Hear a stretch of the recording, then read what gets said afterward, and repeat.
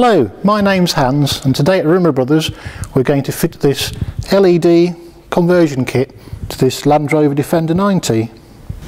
Here I've opened the box of the LED light kit and there's got instructions on the inside cover but there are also these hidden underneath the foam and the LED lights so make sure you find these and they'll be really useful when we come to fit the kit. Here's the relay that needs to be fitted to change over so it operates the LED lights.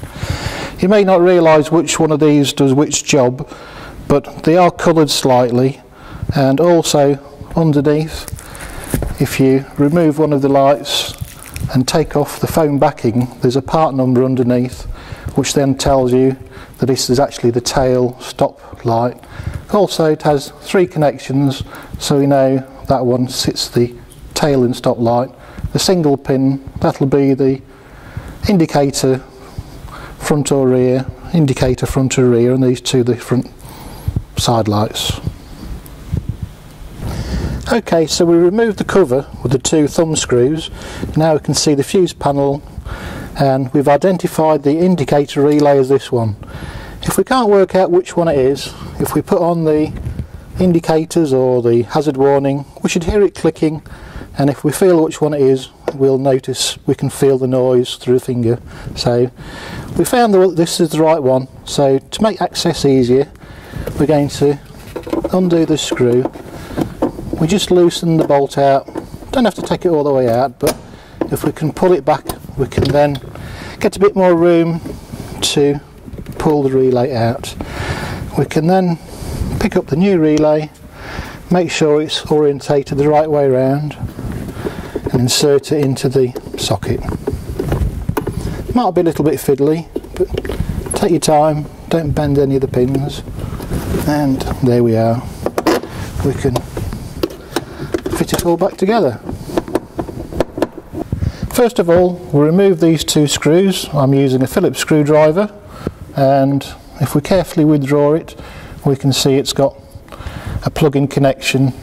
And if we depress that tag there, we can then unplug the unit. Before we fit the new LED light unit, make sure that you insert the screws through the rubber gasket and the lettering on the lens is facing the right way around. If we need to identify what LED light this is, it has the part number underneath the rubber gasket. So now we can just plug in the connector block, kind of going one way around and it should click when it's finally home. Once we've inserted that, we can insert the wiring and screw in the two screws. Just a quick note, when you look at the part numbers for the LED lights, these are the part numbers which give the description of where they fit. But we're fitting a clear kit, and so the amber part number and the red part number are not applicable. You won't find those in the kit, just the clear ones. Before we fit the new rear LED indicator, note it has a different part number to the front indicator. So this one is a part number which is S6064 and we'll fit that one by removing the old unit and plugging in the new one. Straightforward, easy to do. Shouldn't be any problem fitting these. While we're fitting this LED conversion kit, we're also going to fit an LED reversing light and uh, fog light. The fog light you can see comes with no connector block to plug in and uh, so we need to make some wiring adjustments on the inside of the old unit. Bringing the old unit out we can see somebody's already put some connectors on there which have seen better days and they're not factory standards so we need to identify which is positive and negative and then chop these off and reconnect the two cables together. Before we fit the fog light, which always goes on the driver's or off side in the UK, we must make sure which of these is positive and negative. Uh, pretty sure the black one's the negative and the grey one's the positive. First of all, make sure that these are apart and then we need to put the fog lights on and then connect the multimeter. To use the multimeter, we're going to set it onto the voltage setting, DC volts, which on this multimeter is that one, and using the probes, connect up to these connections.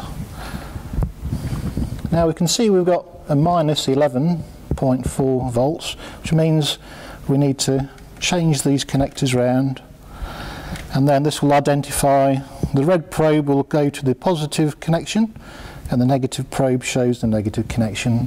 When we show 11 or 12 or whatever volts without the minus sign we've now identified which is negative and which is positive. We've cut the old connectors off and carefully using some wire strippers we're going to strip off the insulation and then fit these bullet connectors. They should fit on easily and we can crimp them up using the right crimping tool. On these light units, it shows you on the back which colour wires go to wherever. The negative is the white and in this case the red is the positive so you can see we've connected that to the grey wire and the white wire to the black wire.